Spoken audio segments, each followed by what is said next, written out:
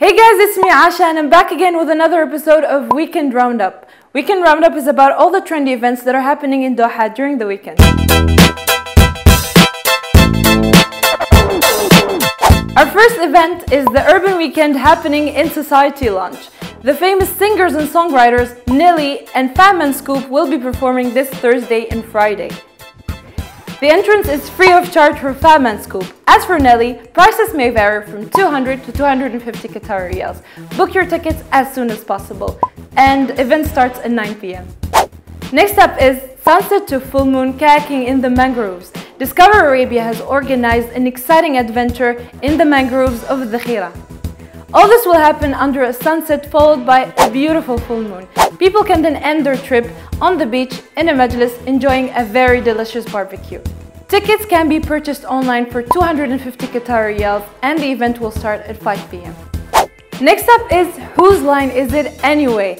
The popular impro comedy show Whose Line Is It Anyway is hitting the stage in Qatar this weekend. So, if you're looking for a fun time with your family and would like to join the comedians as they interact with the crowd and improvise their way through the night, make sure to book your tickets online for 150 Qatar riyals. The event will be taking place in Grand Hyatt this Saturday and will be starting at 8.30 p.m. Another event happening this Saturday is Cluedo the Musical. This show is brought to you by the Doha Players. The musical follows Inspector Cluedo as he investigates in a murder case alongside other characters of the game.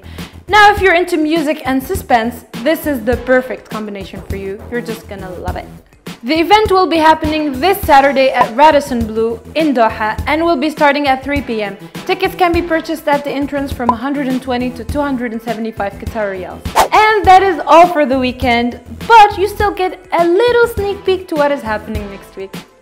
Listen up ladies, you'll love this. Lusail International Circuit is hosting ladies training days every Tuesday twice a month. How cool is that? Ladies can cycle, walk, run and even rollerblade and it's all private. Doors open at 5 p.m. and tickets are free of charge.